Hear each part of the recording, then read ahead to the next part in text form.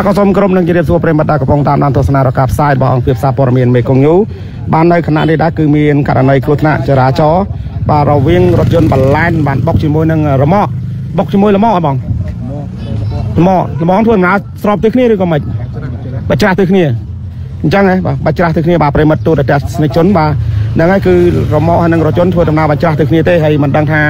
វាយ៉ាងម៉េចយ៉ាងណាទេបានបណ្ដាលឲ្យប៉ះគ្នាយ៉ាងដូចនេះបាទប្រិមត្តទូរទស្សនិកជនឥឡូវនេះឃើញថាអ្នកបើកបររមាក់ហ្នឹងឃើញថារងរបួសគួរសមផងដែរបាទប្រិមត្តរបួស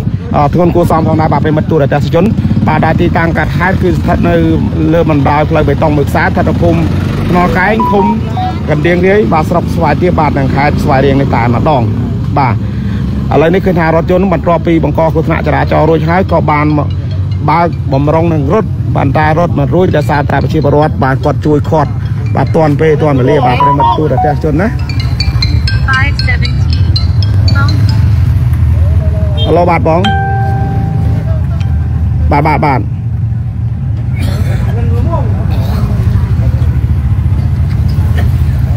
តួបានបងចាំតិចខ្ញុំពងជាប់ live បងណា បាទប្រិមិត្តទូរទស្សនិកជនបាទសូមជួយ share ចែកនៅនៅព័ត៌មានមួយទាំងអស់គ្នាផងដែរដោយសារតែអឺ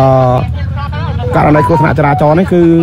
រវាងរមាក់ហើយនឹងរថយន្តបាឡែននៅពាក់សាលីភ្នំពេញ2អ30គុត14បាទប្រិមិត្ត30គុត14បាទដែលបានបុកជាមួយនឹងរមាក់ម៉ូតូបាទប្រិមិត្តរមាក់ម៉ូតូបាទដែលធ្វើដំណើរបញ្ច្រាស់ទៅគ្នាបាទប្រិមិត្តណាហើយផ្លូវនេះបាទយើងនិយាយទៅវាទូចគួរសមវាទូចផងដែរប៉ុន្តែ កាលណាតែយើងបើកបរខ្វះការប្រុងប្រយ័ត្នអានឹងវាពិបាកដែរបាទប្រិមិត្តណាពិបាកដែរបាទអញ្ចឹងមានតែយើងប្រុងប្រយ័ត្នទាំងអស់គ្នាជួនកាលទៅអឺយើងបើកបរមិនបានប្រយ័ត្នបាទអាតែឃើញផ្លូវស្រួលចេះតែវឺតវឺតវឺតទៅក៏ពិបាកដែរបាទព្រោះថាផ្លូវនេះមិនធំប្រហែលទេ បាទមិនធំប្រហែលទេបាទប្រិមិត្តអញ្ចឹងបាទសិនជាមានភាគីខាងណា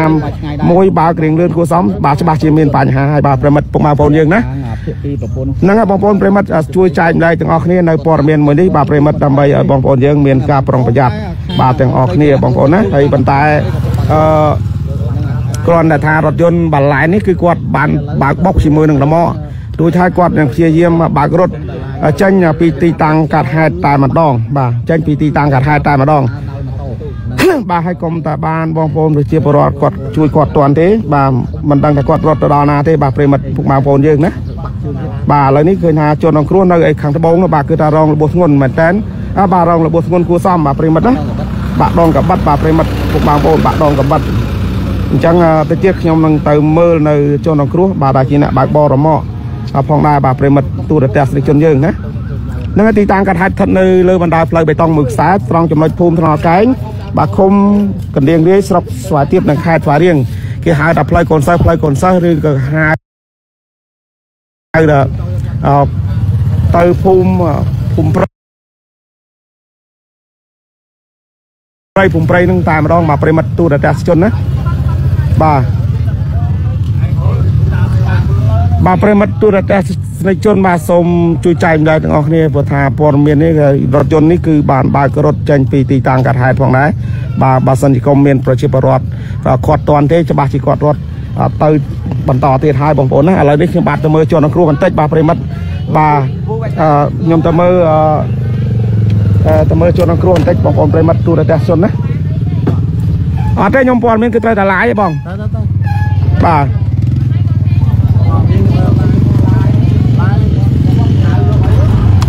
បាទប្រិមិត្តទូរទស្សន៍ជនបាទឥឡូវខ្ញុំទៅមើលជនក្នុងគ្រួបន្តិចបាទប្រិមិត្តណាហើយខ្ញុំមកដល់នេះគឺថាម្ចាស់រថយន្តសនំពខ្ញុំមិនអោយឡាយបាទគឺថាបើសិនជាឡាយគាត់មិនដោះស្រាយឲ្យជាមួយជនក្នុងគ្រួទេបាទគាត់គម្រាមខ្ញុំអ្នកសារព័ត៌មានទៀតបាទប្រិមិត្តគាត់ថាបើសិនជាពួកខ្ញុំផ្សាយនៅឡានគាត់គឺគាត់មិនដោះស្រាយជាមួយជនក្នុងគ្រួទេបាទតែជាធម្មតាអ្នកព័ត៌មានគឺតែងផ្សាយនៅព្រឹត្តិការណ៍ដែលកើតឡើងបាទលើតាមផ្លូវបើសិននៅក្នុងផ្ទះគេអានោះមានសិទ្ធចូលទេបងប្អូនណាវាអត់មានសិទ្ធចូលទេបាទករណីហិង្សាករណីនេះបើសិនជានៅខាងក្រៅរបស់អានោះយើងអាចផ្សាយបានតែតែក្នុងផ្ទះយើងក៏អត់ពិបាកដែរបងប្អូនណាយើងមិនអាចចូលបានទេប៉ុន្តែនេះនៅលើសាធារណៈហើយម្ចាស់រថយន្តក៏លើកឡើងថាបើសិនជាផ្សាយគឺគាត់មិនដោះស្រាយជាមួយជនអន្ត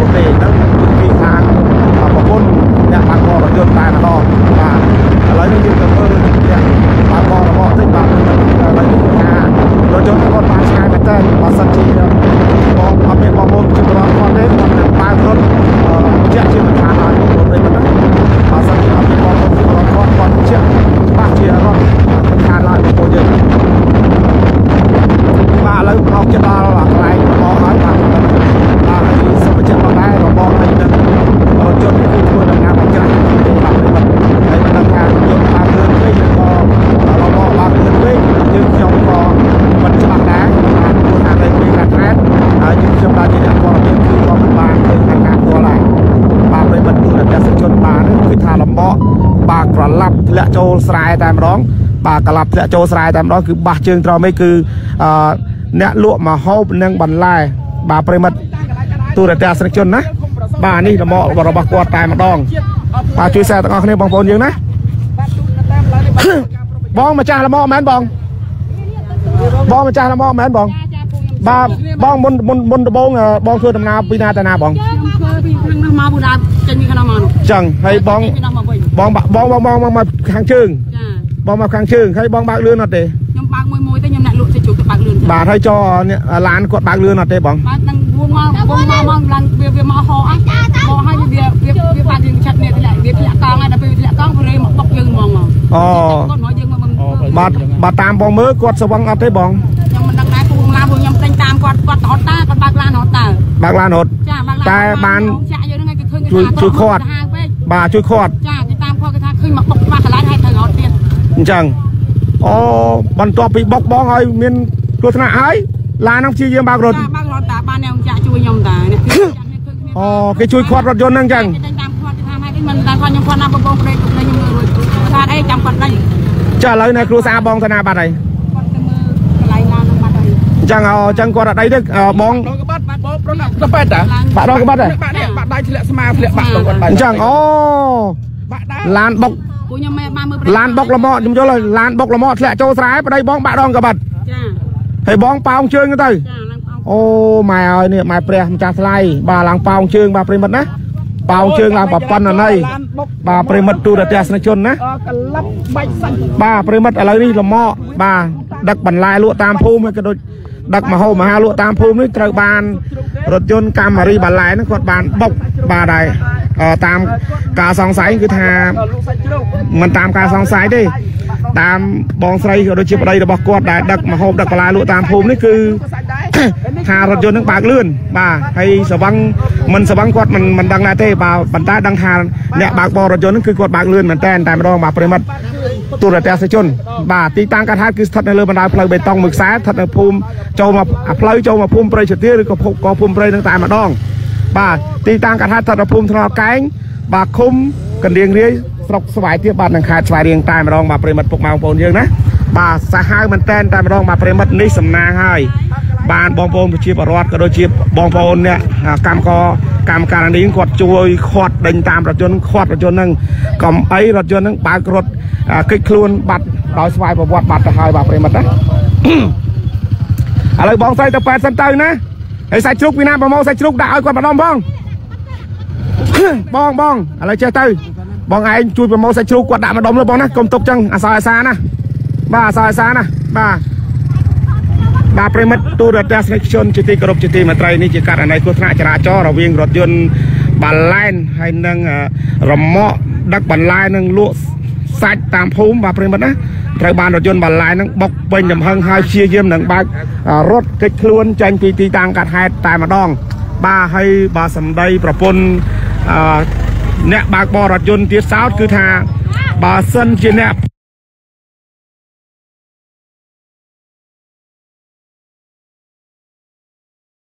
ព័ត៌មានហ៊ានផ្សាយ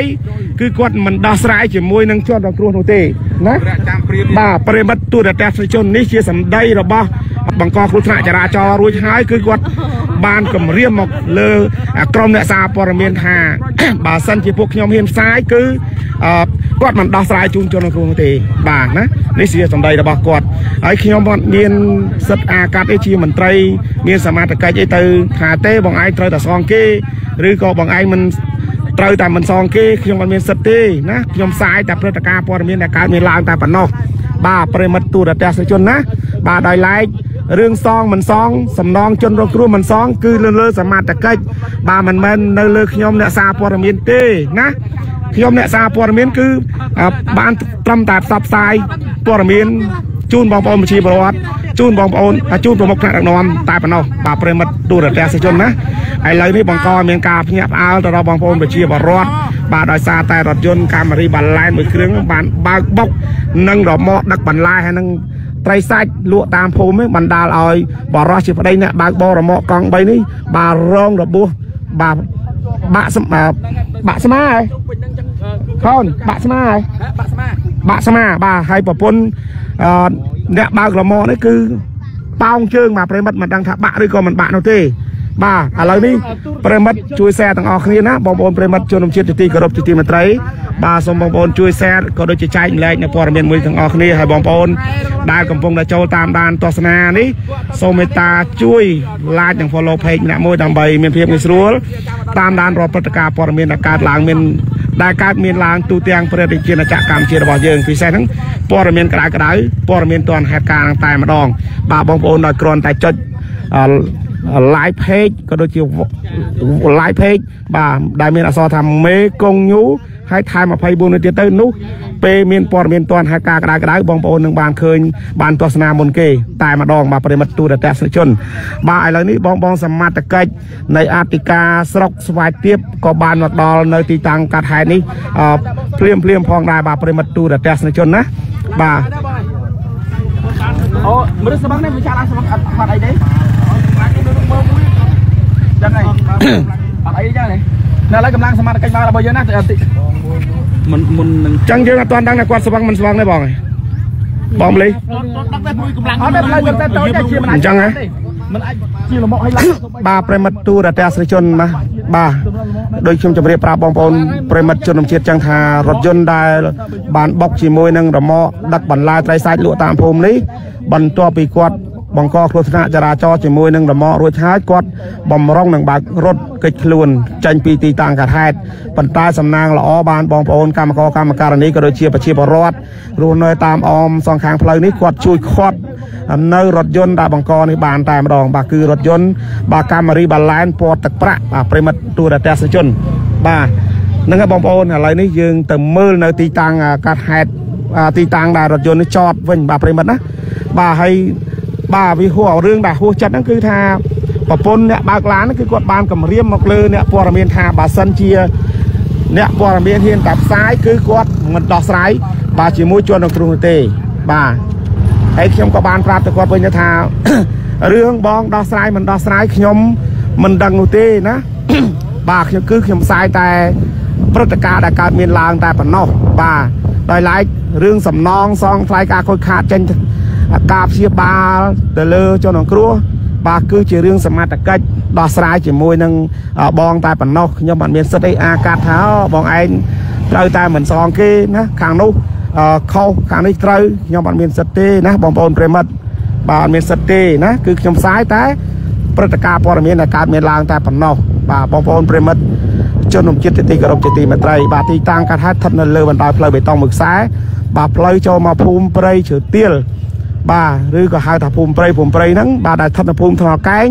ឃុំកណ្ដៀងរាយបាទស្រុកស្វាយទៀបបាទនឹងខេត្តស្វាយរៀងតែម្ដងបាទប្រិមិត្តឥឡូវនេះយើងទៅមើលកន្លែងបាទរថយន្តបាទបាទគឺថាបុករមាក់តាំងពីកន្លែងនេះទៅហើយរត់បានចម្ងាយប្រហែលជា7 800ម៉ែត្របាទប្រិមិត្តបាទគឺរថយន្តនឹងបើកបំរុងនឹងបើករត់កិច្ចខ្លួនតែម្ដងតែសំណាងល្អបានបងប្អូនប្រជាពលរដ្ឋបាទលោកជួយបានតាន់ពេលតាន់វេលាតែម្ដង បាទប្រិមិត្តដែលកំពុងចូលតាមដានទស្សនារកការផ្សាយរបស់អង្គភាពសារព័ត៌មានមេកុងញូបាទ24នេះបងប្អូនកុំភ្លេចជួយ like និង follow នៅ page បាទម្នាក់មួយបាទបងប្អូនឃើញហើយមេកុងញូមកថែម24មួយទៀតមកបងប្អូនដាក់មេដៃប្លុកបាទដាក់មេដៃប្លុកមកនៅពេលដែលមានព័ត៌មានតនហេតុការណ៍ក្តៅក្តៅបងប្អូនប្រិយមិត្តបានទស្សនាបានឃើញបាទព័ត៌មាន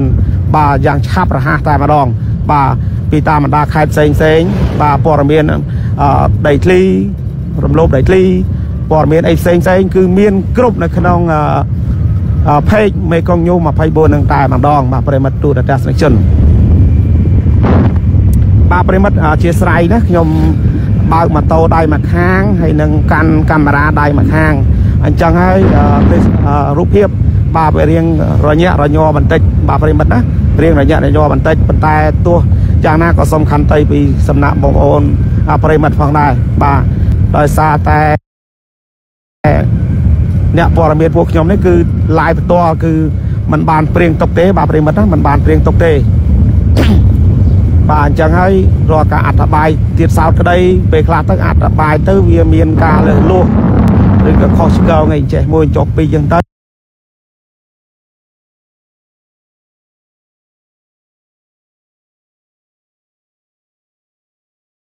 ទៅបាទក៏សូមប្រិមិត្តយើងខន្តីអភ័យទោសដល់អឺខ្ញុំបាទផងដែរបាទប្រិមិត្តណាបាទសង្ឃឹមថាបងប្អូនប្រិមិត្តអធិស្ឋានបាទឥឡូវនេះយើងមកដល់កន្លែងរថយន្តបាទដែលបានបុករមាក់គឺថារត់បានឆ្ងាយមែនតើបាទប្រិមិត្តទូរទស្សនិកជន បាទគឺថារត់បានឆ្ងាយមែនតើអរគុណទៅដល់បងបងប្រជាការពារហើយនឹងអឺបងប្អូនប្រជាពលរដ្ឋដែលបានជួយបាទអឺ ម្នាក់ម្ដាយមួយជើងមិនមែនទៅវាយអ្នកបើកឡានទេណាបាទប្រិមិត្តគឺជួយខាត់បាទជួយខាត់បាទឃើញថារថយន្តនេះខូចខាតផ្នែកខាងរតនាបាទប្រិមិត្តទូរទស្សនិកជនបាទគឺដោយសារតែអឺប្រព័ន្ធអ៊ីនធឺណិត slow បាទប្រិមិត្តណា slow បន្តិចបាទអធិស្ឋានបាទឥឡូវនេះឃើញថារថយន្តនេះរងការខូចខាតផ្នែកខាងឆ្វេងបាទរថយន្តនេះគឺកាមេរីបាឡែនបាទដែលពាក់ស្លាលេខភ្នំពេញ 2A 2A 3014បាទប្រិមិត្ត 2A 3014 បាទទីតាំងនៃការហេតុនោះគឺស្ថិតនៅភូមិអឺថ្នកែងឃុំកដៀងរាយស្រុកស្វាយទៀបនិងខេត្តស្វាយរៀងគឺផ្លូវចុះមកភូមិព្រៃជទាលឬក៏ហៅថាភូមិព្រៃនឹងតែម្ដងបាទប្រិមិត្តទូរទស្សនិកជនណា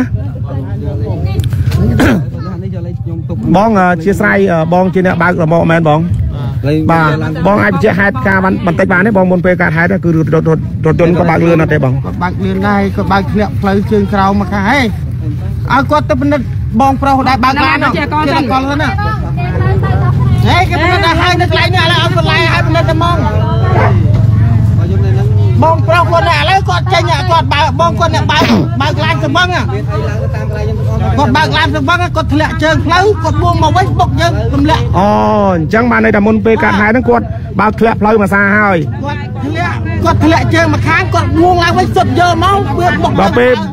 ពេលពេលបួងចកោឡើងវិញមកបុករមាក់បងតែម្ដងបុកបបើកទម្លាក់របស់យើងនោះដល់ណាណៃនោះអញ្ចឹងគាត់បើកលឿនទេបងគាត់បើកលឿនទេលឿនលឿនណាស់វាពេលពេលពេលបើកធ្លាក់ជើងមកខាងហ្នឹងគាត់ចាប់ដើមសុទ្ធជួនឡើងមកថឹងដល់ពេលឡើងរួចពីជើងខាងមកគាត់គ្រប់គ្រងឡានគាត់ឡើងជាប់ហើយអញ្ចឹងឡានគាត់មកបុកយើងមកហើយបាទបងបាទបាទបាទបាទអរគុណច្រើនបងហើយបងអឺបាក់ស្មាបងបាទ ជួបបាក់ស្មាយ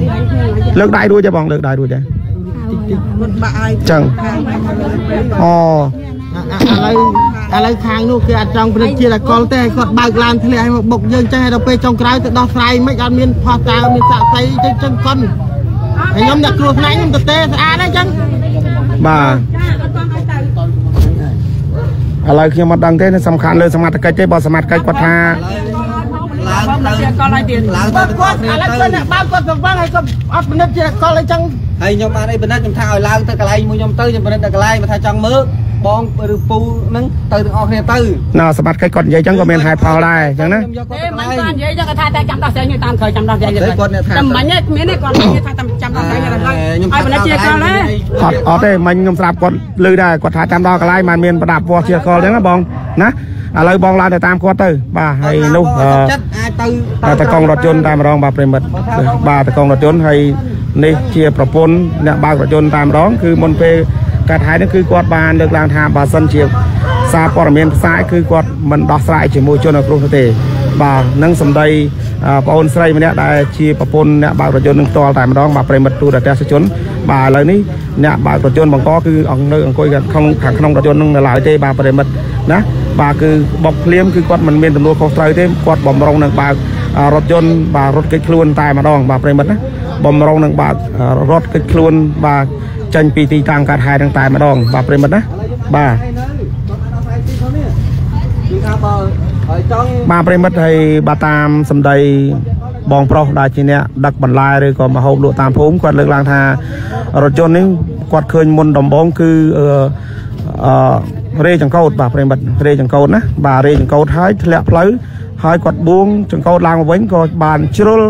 បាទចង្កូតមកបុកជាមួយនឹងរមាក់អឺរបស់គាត់ទាល់តែម្ដង បាទបណ្ដាលឲ្យបងប្រុសដែលជាម្ចាស់រមាក់ហ្នឹងរងរបួសអឺបាក់ឆ្អឹងចំណីបាទរីឯប្រពន្ធរបស់អឺជនក្នុងគ្រួដែលជាអ្នកបើករមាក់ហ្នឹងគឺប៉ោងជើងបាទប្រិមិត្តដោយសារតែរមាក់ក្រឡាប់ត្រូវតែម្ដងបាទប្រិមិត្តណាបាទ ខ្ញុំ ទៅចាស់ខាងតាមនេះហ្នឹងហ្នឹងខ្ញុំទៅតែអីបលីមកដល់ហើយនៅក្នុងមកជឿប៉ាំងមកខ្លាំងណាស់ឡើងបាទនោះជនអឺអ្នកបើករថយន្តបាទប្រិមិត្តណាគឺគាត់ជាអ្នកបើករថយន្តបង្កតែម្ដងហើយខ្ញុំបាទមិនដឹងថាគាត់ស្រវឹងឬក៏មិនស្រវឹងទេបាទប្រិមិត្តទូរទស្សនិកជនណាមិនដឹងថាគាត់ស្រវឹងឬក៏មិនស្រវឹងទេបាទទៅតាមរំទៅ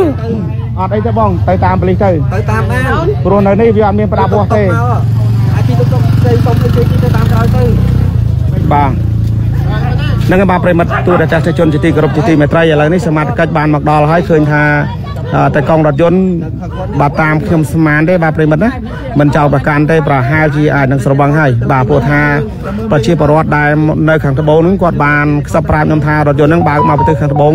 អឺលឿនណាស់បាទប្រិមិត្តលឿនណាស់ហើយផ្លូវបេតុងទូចផងហើយគាត់បើកលឿនទៀតបាទប្រិមិត្តណាហើយខ្ញុំមិនដឹងថាគាត់ស្រវឹងមែនឬក៏មិនស្រវឹងនោះទេប៉ុន្តែដឹងថារថយន្តហ្នឹងបើកធ្លាក់ផ្លូវមួយសាហើយ បាទក៏បានបួងចង្កូតអាឡើងបាទឡើងមកលើវិញ បាទក៏បានជ្រុលចង្កូតមកបុកអឺជាមួយនឹងរមាក់បាទបងប្រុសនេះបាទនេះបានជ្រុលចង្កូតមកបុកជាមួយនឹងរមាក់បងប្រុសនេះតែម្ដង បាទធ្វើឲ្យគាត់ហ្នឹងបាក់ឆ្អឹងចំណីរីឯប្រពន្ធរបស់គាត់ដែលជាបងស្រីនេះគឺបាទប៉ោងជើងតែម្ដងដោយសារតែរមាក់សង្កត់ត្រូវឬក៏រមាក់កលាប់ទៅសង្កត់បណ្ដាលឲ្យបងប្រុសដែលជាអ្នកបើករមាក់លក់បន្លែសាច់ជ្រូក តាមភូមិនេះបាទបាក់ឆ្អឹងចំណីបាទប្រិមិត្តបាក់ឆ្អឹងចំណីបាទប្រិមិត្តទូតអាកាសជនណាទៅពីកណា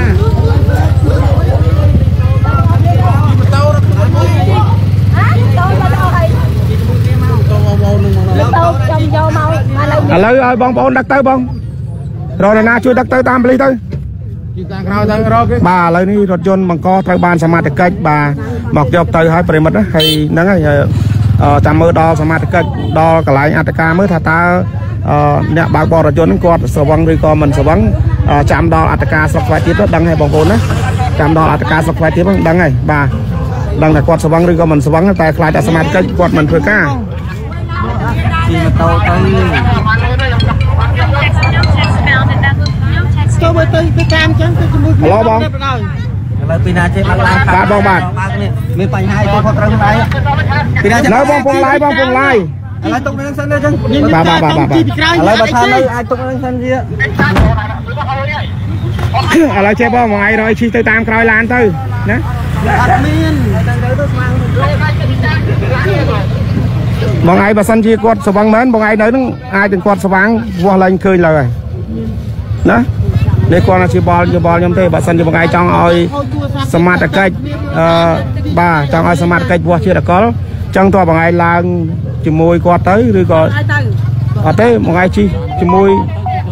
បងប្អូននេះទៅជិះតាមក្រោយឡានហ្នឹងទៅតួបងតួតួ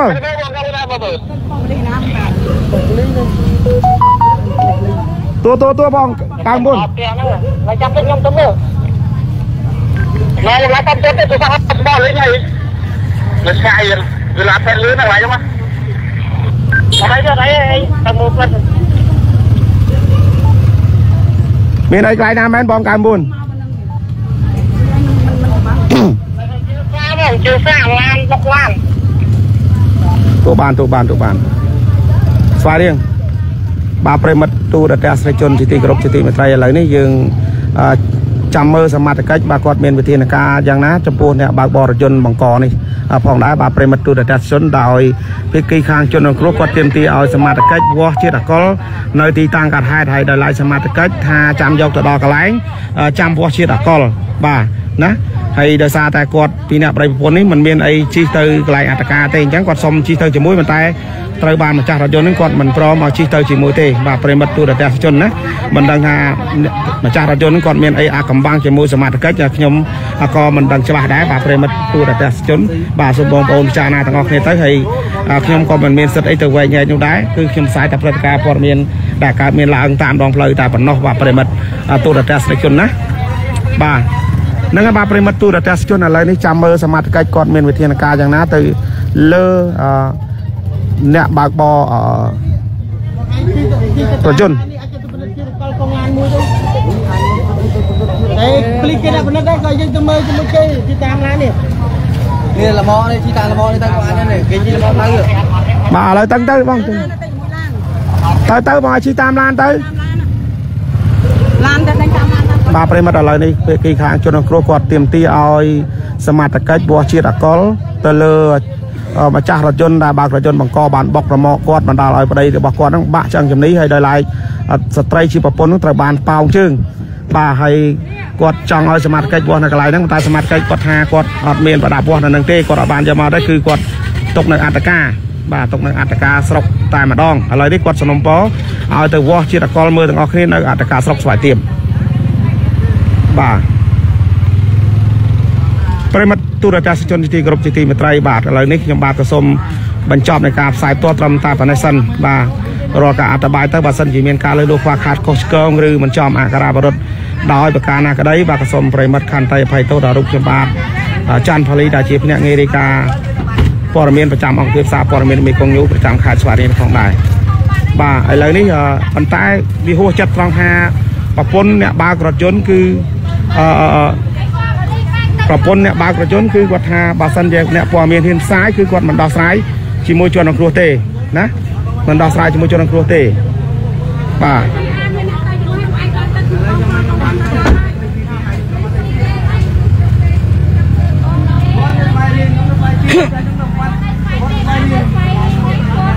តែឡានឡានឡានទៅទៅមកទៅទៅចាឥឡូវបងឯងជីទៅកាមតាមក្រៅប៉ូលីសទៅឲ្យទី ទៅតាមក្រោយតាមនេះគេណាឆ្អុយវិញនិយាយចឹងខុសបាត់នេះបងខ្ញុំអ្នកទៅទៅទៅឲ្យបានឯងរត់ហ៎តើឥឡូវបងឯងទៅតវ៉ាទៀតប៉ូលីសគេយកទៅទៅតោះតោះតោះតោះតោះអីទៅខ្ញុំជើនៅហេនៅនឹងក៏នៅដែរបាទតោះតោះតោះឥឡូវមានតែចឹងទេឆាប់ចប់បាទប្រិមិត្តរៀងរញ៉ៃរញ៉ៃបន្តិចបាទប្រិមិត្តដោយសារតែភាគីខាងជនរងគ្រោះគាត់ទាមទារឲ្យអ្នកបើកបររថយន្តហ្នឹងវាស់ជាតិអកុលនៅនឹងកន្លែងមកតែសមត្ថកិច្ចមិនបានដាក់ប្រដាប់វាស់ជាតិអកុលមក តាមខ្លួននោះទេដោយយកទៅទុកគេបើកបងអីទេបាទឥឡូវនេះមិនដឹងយ៉ាងណាណីទេបាទប្រិមិត្តឥឡូវសមត្ថកិច្ចបានមកបើករថយន្តនេះយកទៅហើយបាទប្រិមិត្តណា